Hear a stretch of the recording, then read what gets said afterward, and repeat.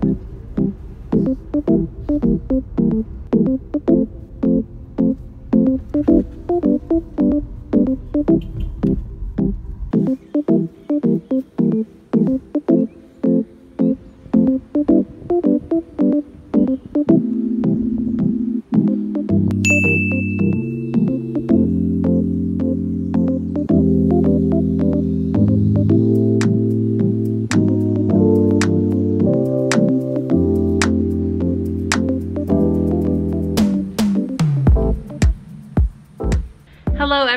and welcome to another video. I come to you from Costa Rica where I grew up. I came here for my cousin's wedding that of course has been cancelled.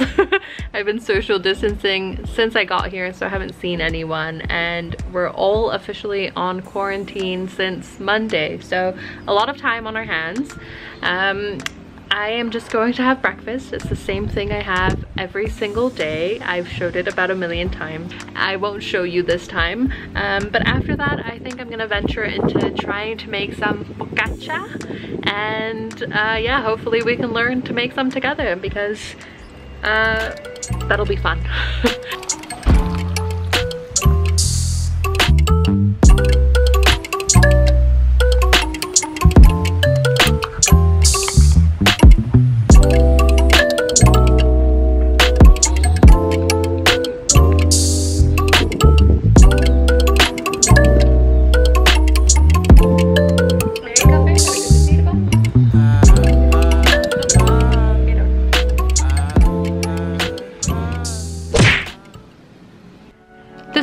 is in collaboration with Function of Beauty, which is the shampoo and conditioner I've been using for the past year.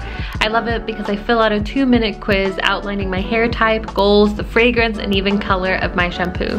Of course, Function of Beauty has no parabens, sulfates, GMOs, or toxins, and is 100% vegan and cruelty free. My shampoo and conditioner is purple to keep my hair from going brassy and I chose the peach and mandarin scent. We all have different hair so we should be using different products. I chose my shampoo and conditioner to strengthen my hair, replenish and deeply condition which I feel like it's done perfectly. I also got the serum which I'm obsessed with as it immediately softens my hair, defrizzes it and it makes it smell wonderful. Best of all is you can use these little pouches to put your products in and travel safely with them, which is exactly what I did so that I could still use my own shampoo and conditioner when I'm in Costa Rica. If you'd like to try out Function of Beauty, you can follow my link in the description box below and get 20% off your first order. So this is what my hair looks like. I washed it today and just let it air dry. Um, I'm very happy with Function of Beauty. It makes my hair so soft and smells really nice. Um, I usually just finish it off with some of the serum. I just put a little bit my hand and just put it on the ends of my hair and it just smooths it out, um, makes it smell really nice and yep, I'm a big fan. Okay, so yeah, that's the one I've been using for a while. We can now go on with our video.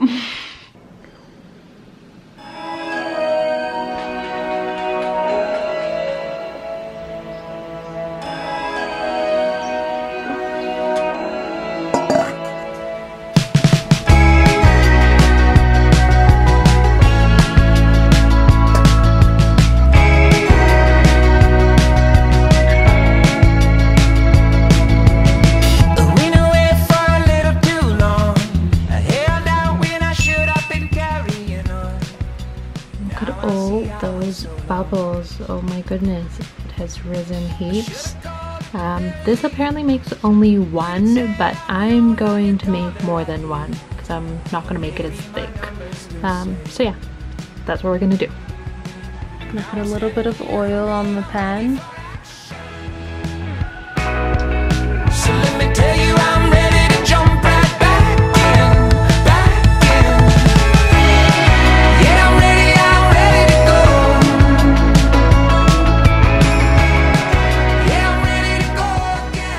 Now gonna let this rise for 30 minutes and apparently you're just gonna keep on stretching it um, on the sides because it does kind of like shrink with time.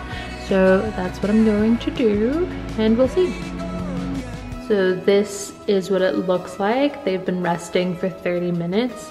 Um, I preheated the oven and now I'm gonna do like the little printing of the fingers on them and then add a little bit more um, oil, I think it is, and then put them in the oven. So I'm put these onions. Ooh.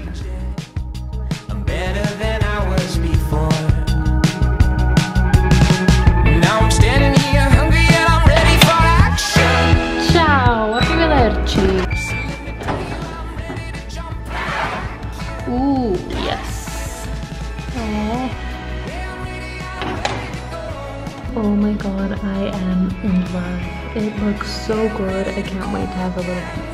Okay, so here we go, the grand reveal. I'm gonna have a little piece of my focaccia. It looks so nice. Oh.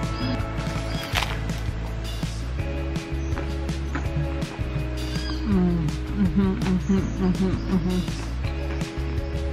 Yes.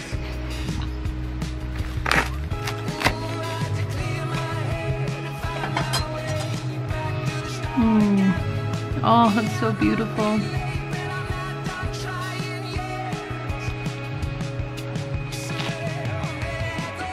Mm. Ay, no, qué rico. Uy, qué buena. Mm. Okay, so as I wait for my other focaccia to get out of the oven, um, I thought I would talk about some of the books that I've been reading or that I'm reading, planning on reading um, during quarantine. um, the first one is American Gods, which I have spoken about over on my Instagram.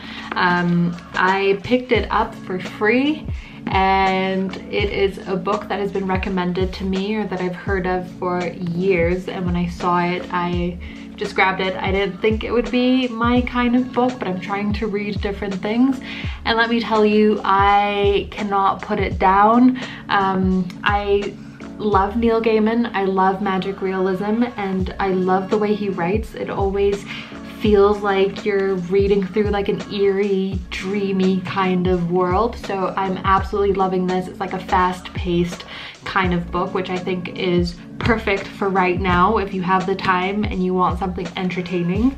Um, the other book I'm reading, which is very different is Too Much and Not the Mood. Um, again, this was recommended to me by someone over on Instagram. I love it when you guys recommend books to me and this one was just right up my alley. It's a collection of essays. It's a little bit similar to um, Bluets by Maggie Nelson. It's kind of that style. Um, I'm about to finish it and I've absolutely adored it. I would a thousand percent recommend this one if you've ever resonated with I guess the reviews that I give over on Instagram on books that I like. Um, love this one. The other one is Trick Mirror. I've been reading this for the ELSE book club. I send out a newsletter discussing um, each essay and asking you guys questions. It is a very interesting read, especially right now. Um, it explores this idea of identity in a culture that is obsessed with the self. If you want to read this with me, there's still time. All you have to do is just join the ELSE uh, book club newsletter. I've also been sharing other stuff on my newsletter with this whole quarantine thing. Um, so if you want to just subscribe to a newsletter and get more stuff from me, you can if you're not sick of me. And then I brought a few books with me from Australia because um, I just always travel with books. my suitcase was definitely overweight and I knew that it was because of my books, thank goodness. Um, the woman there was really kind and she liked me and she let me go. Um, but I brought other books. And what I'm thinking about reading next once I finish those is Educated. I bought this a very long time ago. For some reason I just haven't picked it up. And yeah the books that I brought with me are books that I've been meaning to read for the longest time. And I just thought that if I brought them with me I'd just do it rather than keep on buying other books. And then this one. Seems like a fast-paced one an entertaining one um, I heard about it a while ago. Seems like the kind of book that you'd want to read during quarantine. uh, something to escape the current situation. Um, so yeah, that is what I'm reading. Um, okay, let's go check on that focaccia. I think it has like four minutes to go.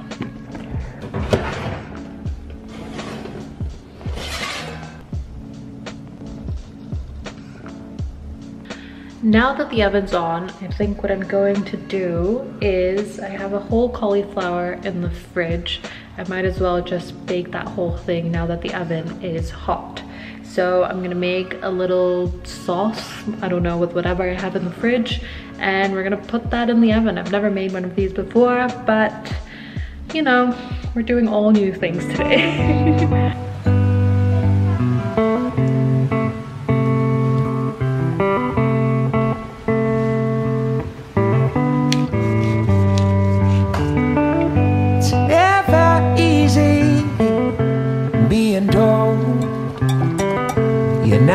enough, you don't fit this mold.